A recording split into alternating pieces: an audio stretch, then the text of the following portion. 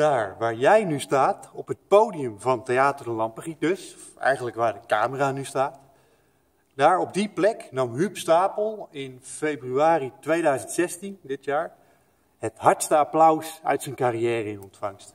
Dat was na de voorstelling Intouchable, de theatervariant van de enorme filmhit uit 2011. Je weet wel, van die man in die rolstoel en die, die man uit de banlieues die hem gaat helpen, die hem gaat verzorgen. En die, die, die fantastische, bijzondere vriendschap die tussen die twee mensen ontstaat. Dat is het thema van de film. Twee mensen uit verschillende milieus, met verschillende karakters, die een prachtige vriendschap ontwikkelen. Die voorstelling, Intouchable, was de theaterhit van 2016. Het is nog steeds 2016, dus hij komt nog een keer terug naar Veenendaal. Op 27 augustus is je laatste kans om erbij te zijn. Dan kun jij plaatsnemen hier in deze zaal.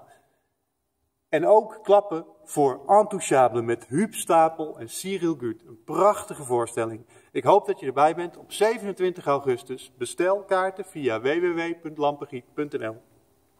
Tot dan!